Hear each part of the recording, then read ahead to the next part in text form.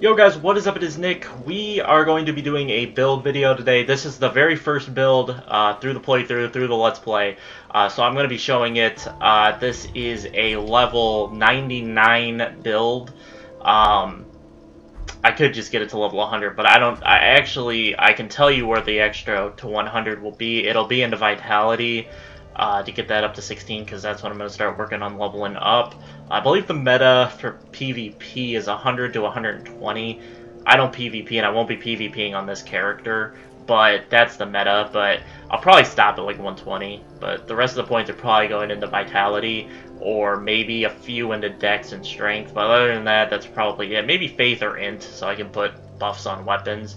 Uh, but in this game, it's much harder to level up. Souls are a lot higher. It's a lot higher of a cost to level up uh, near level 100. I think it's like at level 70 or 80. You start having to pay 50k souls per level up. Uh, but let's get into the actual build of it all. So let's go. No, I don't want inventory. I want equipment. Okay, so I've been using the Onikiri and Ubadachi blades. Uh, not because of the special attack, which is the coolest special attack that I've seen. I love this attack. It reminds me of uh, Yoshimitsu from Soul Calibur. Um, believe he had an attack similar to this, one of his special combos, but that's not really why, because the attack really sucks. If you watch my Let's Play, I killed one guy with it, and it was just, it's just some garbage uh, to actually get hits and stuff, because people can just stun you out of the air when you go up and you're when you hold up there like that, they can just stun you out of the air and then the attack is useless. But it's a fun attack. Uh, but what I really like is the uh, the R1 because you can you tend just how they swing. It's really hard to actually miss if you R1. I also like the R2 the charge and then into that. I like with my katanas the poke first and then the the wide slash uh, so this is what um, I like. But if you don't want to use the two swords, uh, another option, katana-wise, because this is a dex-ish build. It's not really a 100% dex, but also what is pretty good... Okay, where is my sword? There it is. the hell? I've been having issues with that, where I'll change armor and I'll put armor on and it won't show up. It's just, like, not there. But the Black Blade is the one I'm using, or I had used all the way through the game until I got the Onikiri and Ubadachi. Uh, you could also use the Chaos Blade, the Uchigatana, or the uh, merchant over here sells the washing pole, whichever one you really like. Um, I like the Dark Blade because it has the bleed damage uh, on it. Uh, the Chaos Blade is also not a bad option. Uh, all of their stances should be the hold, yeah. Um, I believe the Uchigatana, or the Washing Pole is the longest, then it goes Uchi, Chaos, Black Blade, I think. Um, but, the, but the range on the Black Blade, I never actually had any issues with it. Uh, it, it is shorter, but I never had any issues like missing attacks. Another option that you could go with is the Dancer's Twin Swords. Uh, they kind of have, they're really good for PvE. They're not really good for PvP uh, because of the windup for the first R1, where you gotta, where you kind of draw back and you spin into the attack. It's really hard to get the first hit off that way if you're in a, you know, when you're close, because you gotta be close, obviously, to hit with these. Um, the R1 is hard to get attacks in against. Even even PvE, uh, it is kind of hard to get in attacks against some enemies that have quick strike weapons. Uh, it makes it difficult. The R1 one-handed, you know, is good. It's just the simple um, straight sword swing, I think. That's straight sword, right? Uh, and then the the weapon art, it's alright. I don't really, it's not anything special. Let me get my, I feel like it does a little bit more if you have your focus points. No, it, yeah, it does. It does a little bit more. Um, it's not really that great. It's kind of it's more aesthetically pleasing than anything. It's not really good for combat. It's just aesthetically pleasing to use it. Uh, but those are another option. Uh, obviously, with uh, this, you could use straight swords. Anri straight sword if you want to invest some points into. Where is my sword? Like, why does it do this? There we go. Anri straight sword is a good choice. Also, um, it has the good. It has a good weapon art uh, both the R1 and R2 buttons. Uh, are, are good attacks, so it's another option. You have to put some points into luck. It's actually the weapon speedrunners are using, uh, and it's actually a pretty good weapon. Uh, I still need to kind of test it out, see if I like it uh, a little bit more than I already already do, but it's an option as well as you don't really want any great swords uh, with a dex build. Uh, the daggers, the Brigand Twin Daggers aren't a bad option. Rapiers, I personally like the Crystal Sage's Rapier. It's not great, but it uses very little stamina, uh, stamina, so you can get a lot of hits in with it. It's another good weapon for a dex, quick strike build. Um, another good one that I found... This isn't for... You could use it in this build, but uh, I really like the move set on this axe. It's it's a it's kind of a heavy axe, but it um it has some quick it has quick R1s but it also gives you the versatility of having a strong attack, uh, like a really strong attack. So that's the reason I like this uh, axe. Another option for you are the Drang Twin Spears. These are more fun than anything, but they actually do have some. They do have some use. Um, I do like the when you have two, both of them out. The attack is pretty good. You got to keep your camera up I believe that's what affects where they poke. Because otherwise they, like, poke into the ground. Like, see? Uh, that's, like, way into the ground. You gotta, you gotta keep your, your camera up for that, but... Still, my opinion is still using the, uh, uh, uh, Onikiri and. The Pontiff Curve Sword is an interesting one uh, that you can use. I like the move set on it. I just, I don't know, I just haven't used it really. And that's a nice attack. I like that attack. It's another one of those aesthetically pleasing attacks.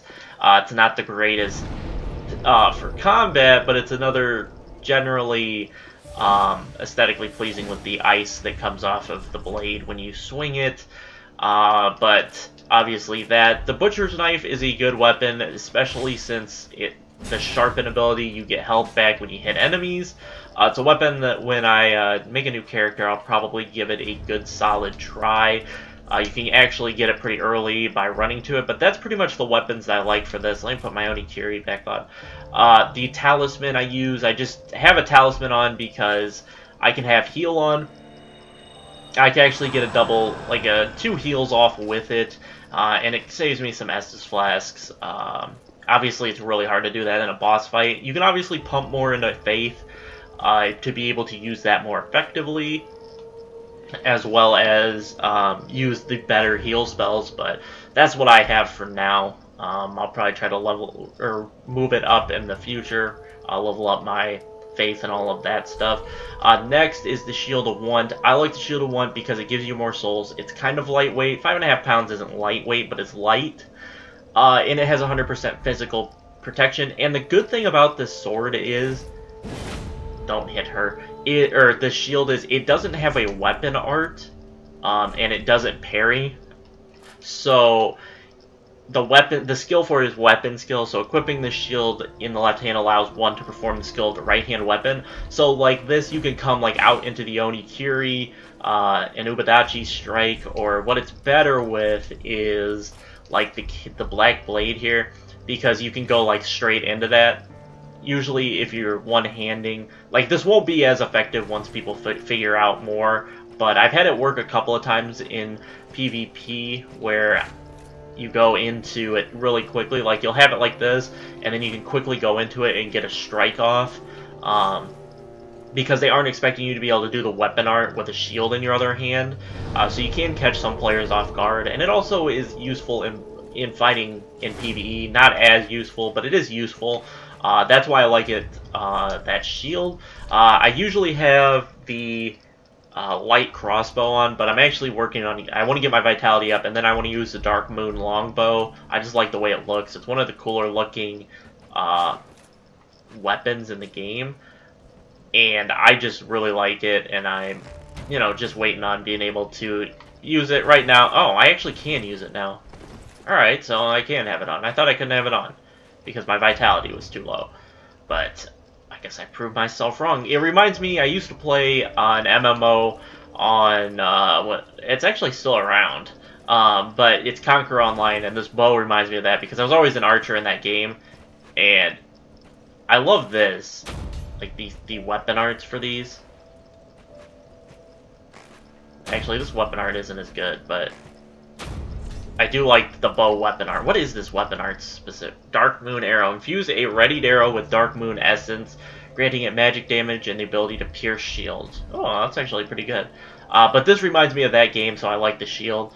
Um, moving on, let me put my weapons back on, to the armor. We're using full Dancer's armor, uh, and the Dancer's armor is actually pretty good, and it's also pretty light, so I'm I like it, and I love the veil effect that the Dancer's helmet. If you watch my Let's Play, you know I don't like the mask in the front here. If I can go get next to a wall, I think this will be better. Right there. The mask on the Dancer's helmet, I don't like that. Uh, but the um, the veil that comes off of the back is aesthetically pleasing, and I'm all about my fashion souls. I don't really care how good the armor is if it looks good.